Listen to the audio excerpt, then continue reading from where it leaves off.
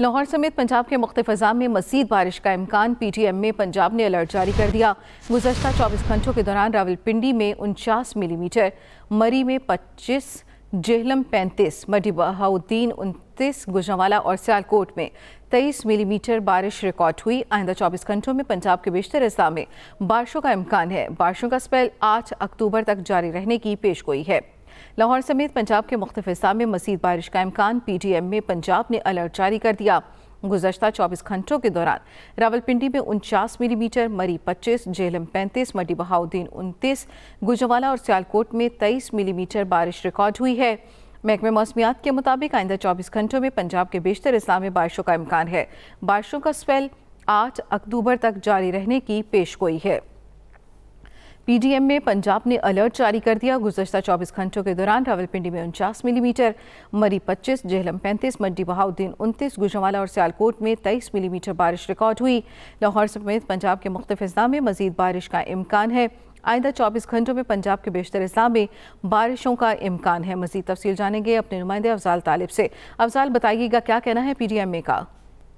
ہاں جی بالکل، چونکہ دو تین، دو چار روز سے لاہور اس میں پنجاب میں گرمی اور حفظ کی سلسلہ جاری تھا۔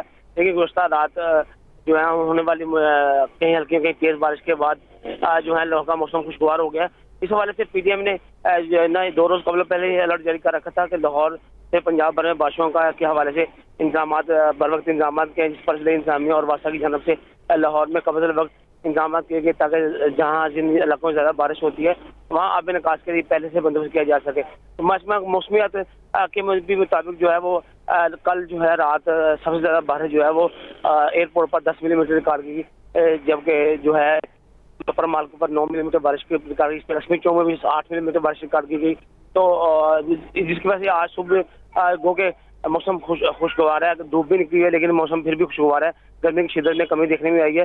کیونکہ ہوا میں نمی کا تناسب جو ہے کم ہونے کی وجہ سے لاہور میں جو ہے موسم بہتر ہے۔ رات کے وقت زیادہ جو ہے گرمی کی شدت میں کمی کمی واقع ہو جاتی ہے۔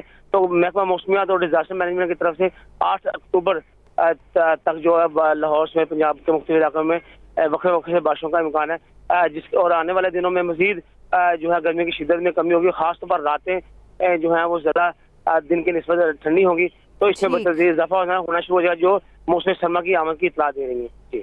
بہت شکریہ افضال طالب۔